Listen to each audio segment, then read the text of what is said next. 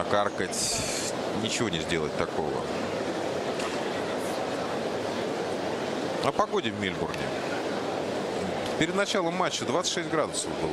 Такой хороший, жаркий достаточно сегодня был день. Ну, в последние дни э, погода в Мельбурне очень нас всех здесь находящихся радует. Э, нет какой-то супер фантастической жары, потому что бывали в предыдущие годы дни, когда за 40 так, днем 28-29, иногда 30 градусов тепла. К вечеру немножечко опускается. Ну, когда там в полдвенадцатого, в 12 ночи из кортов возвращаешься в гостиницу, ну, иногда бывает там в районе 20 градусов. Так что, в общем, находиться и играть в теннис в Мельбурне сейчас приятно. Хочется это делать как можно дольше. Хочется это и Андрея Петкович, хочется это и Марии Шарапова.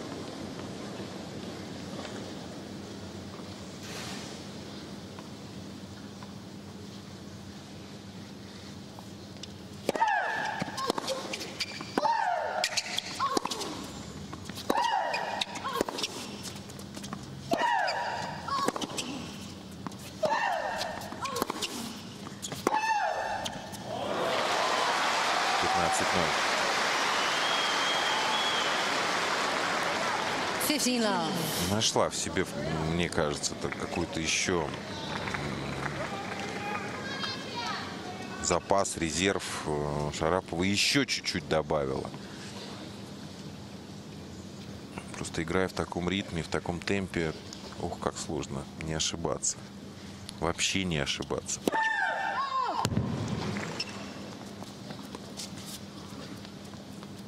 Не спорит Мария с решением арбитров, что мяч не попал.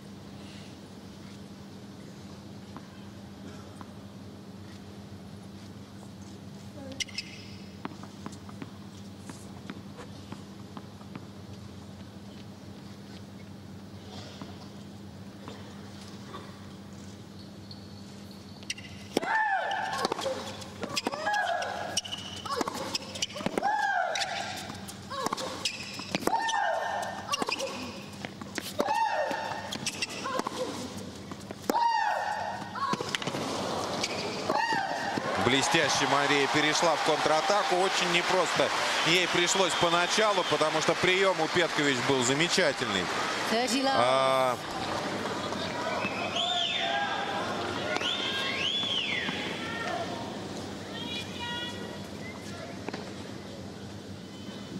Пять мячей подряд выиграла Мария.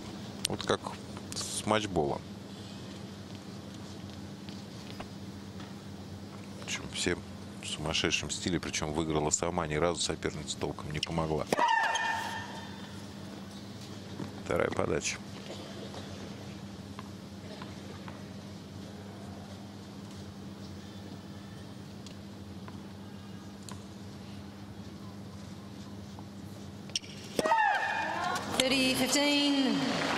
Двойная.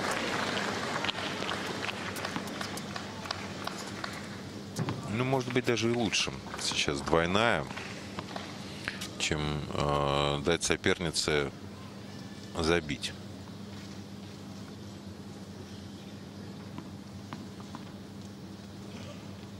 Чтобы она не чувствовала себя в, си, э, в себе силы выигрывать. 40-15. Ну, видите, сейчас первую Маша э, до этого регулярно подавала в районе 170, даже за 170. Э, и сейчас резко добавила вращение, сняла скорость с подачи. 152 км в час. Как, почти как вторую подала. Но на это не среагировала уже Петкович. 40-15.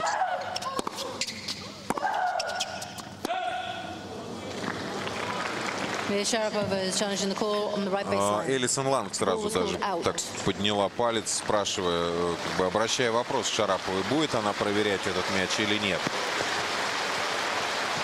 Мяч задел. Мяч задел линию. Судья на линии не прав.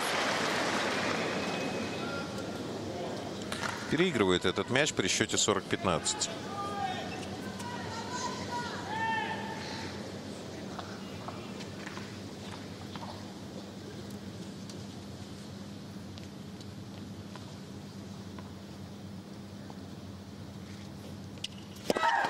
Let's for service.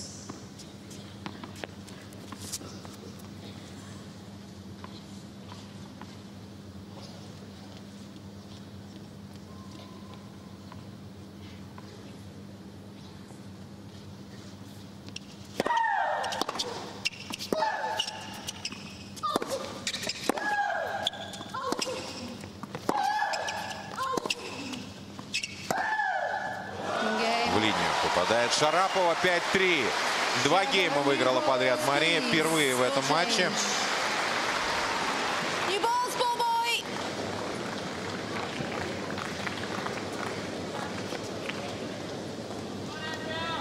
Petkovic leads five games to three, second set. И, наверное, едва ли не самым важным э, в этом матче может получиться вот предстоящий гейм. Ну, понятно, если его выиграет Петкович, матч закончится. А вот если его выиграет Шарапова, матч только начнется.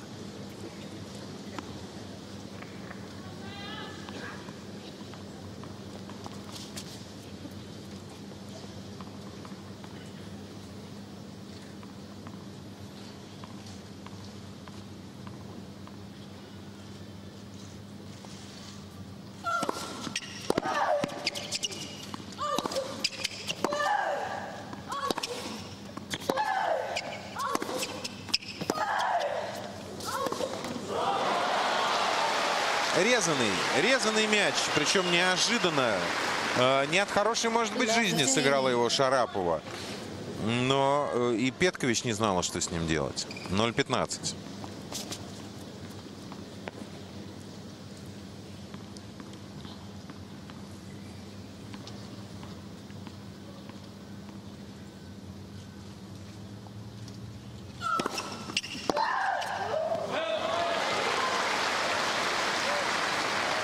Ну, не очень была 15 удобная подача.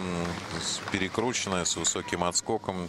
Такую сложно забить на вылет. По 15. Тем не менее, это всего лишь... Это первый выигранный... эм, Да нет, в общем-то, это, в общем... ну, Это не считается невынужденной ошибкой, а ошибка на приеме. Вот это невынужденная ошибка. 30-15. 30-15.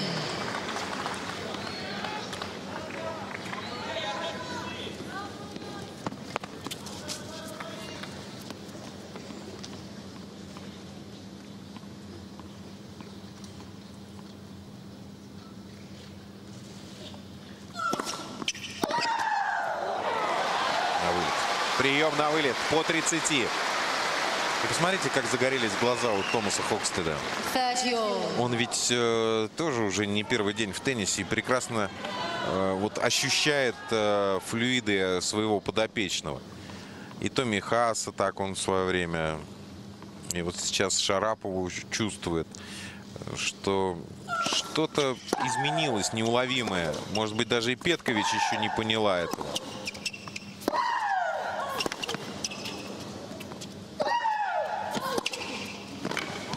не дотянулась.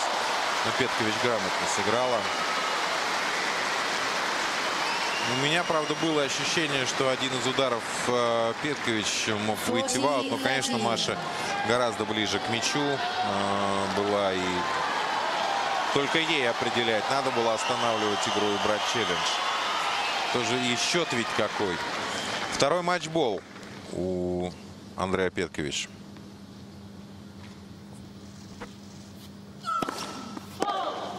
Вторая подача.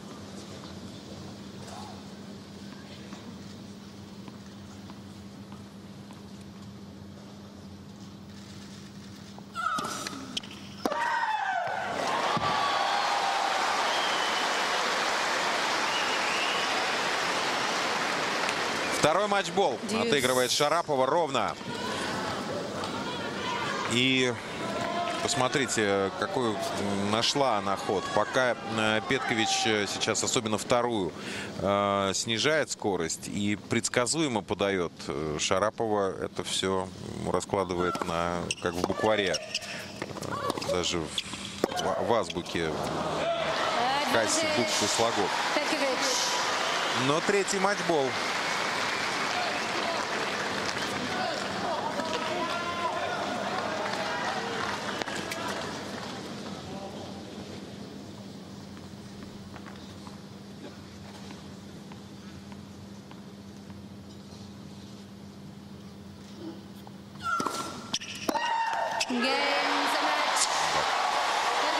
Не получилось.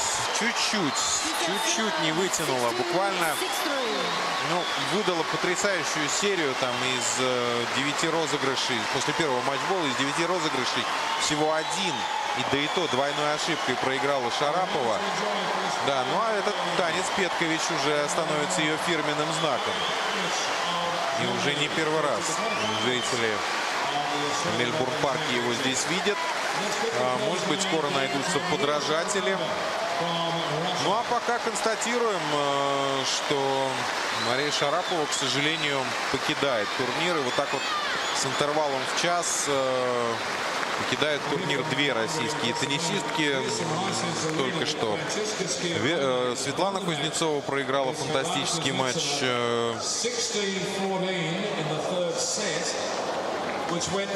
Франчески Скиавоне 16-14 после 4 часов и 44 минут борьбы.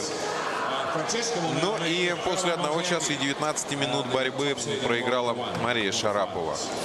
А, ну, наверное, я неправильно выражаюсь. Не проиграла Мария Шарапова, а Петкович выиграла. Потому что Андреа сегодня сыграла просто фантастический матч. И укорить в чем-то Шарапову а, у меня не повернется язык. А, я не, больше ни разу не скажу, что Шарапова проиграла.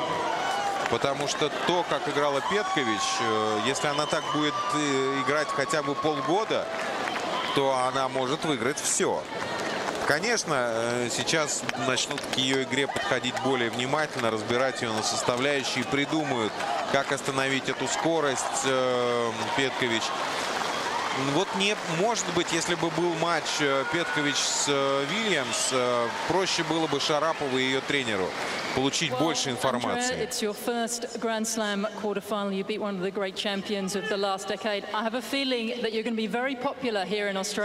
Это твой первый четвертьфинал, ты обыграла выдающегося игрока, ты здесь становишься очень популярной. You know, it was such a tough match. I was focused all the time, even though in the beginning it was, it seemed to be Это был очень тяжелый для меня матч. Я была сфокусирована на событиях, происходящем с первого мяча до последнего. И Шарапова играла просто замечательно. И я, конечно, под конец очень нервничала. Но очень счастлива, что смогла выиграть.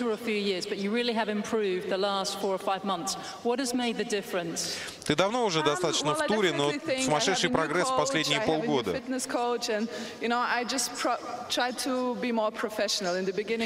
Ну, во-первых, у меня появился в команде uh, э, фитнес-тренер, я стараюсь быть более профессиональной, тщательнее подходить, продуманнее подходить к тренировкам.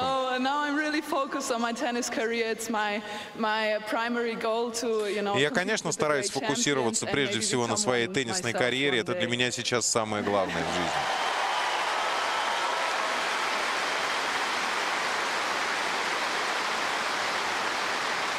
Now, your, your father, who's here tonight, apparently said uh, a while ago that he didn't think you should become a professional tennis player, that you should become, you're very intelligent, and you should take an academic career. Do you normally ignore his advice? Yeah, definitely. Но у тебя еще, кроме теннисной карьеры, еще и академическая карьера. you see how he's, he's, now I'm gonna get, later I'm gonna get... I'm gonna get you in trouble, aren't I? But, um, well, you know, it was, uh, I was quite good in school, and my dad was also a professional tennis player in, uh, in the early years, and he knows what kind of pressure there is going on, and he didn't want his little daughter, you know, to go through the same things. But as I said, always never follow the advice of your parents. and, you, and you end up in the Rod Laver arena. Да, я никогда не, не могу перечить своим родителям, даже когда стою победителем на Родлейвер-арене. А папа, который меня прекрасно знает теннис профессиональный, okay, с самого начала um, говорил мне, что надо совмещать с учебой. Dance, which I believe is called the Petco dance. Can you just tell us a little bit about this? Because it's becoming world famous. Um, yeah, it started off as a bet with my coach because in, at the US tour I was playing terrible and I got the first round Petrova. So he said, okay, if you win, you have to do something special. So the dance. I won 7-6 in the third, and I wanted to flee the court, but my coach was like, hey, the dance. So I did a little this, and it became so famous, and I'm also superstitious. I uh, played, I played much better since I, since I do the dance. Но это вот история ее танца. Я пропустил, в каком матче это было. Ну, не на этом, по-моему, чемпионате. Она играла... Э, до этого играла плохо и загадала, что если выиграет матч, то делает что-то особенное. И вот так появился этот танец. И она говорит, что после этого танца я стала с каждым днем играть все лучше и лучше. Да, ну что ж, поздравим Андрея Пенкович. Именно она будет э, соперницей Каролин Возняцки. Э, в четвертьфинале. Ну, о, нет, простите, Франческа Скиавоне будет соперницей Каролин Возняцки, а Андреа Петкович э, сразится с э, китаянкой Лина. Вот э, в верхней половине сетки четыре человека, которые определят э, финалиста турнира. Лина Петкович, э, Скиавоне Возняцкий. Все четверо сеянные э, от первого до 30 номеров. Ну а что будет в нижней половине сетки у девушек? Э, сумеет ли совершить подвиг э, Катя Макарова или подтвердит свое превосходство Вера Звонарева. За это все нам придется переживать завтра, но ведь и сегодняшний день еще не закончен. И буквально минут, наверное, через 10 нам доведется увидеть матч Энди Родика и Станисласа Вавренки. Думаю, что он будет не менее захватывающим, чем поединок девушек. Дождемся его.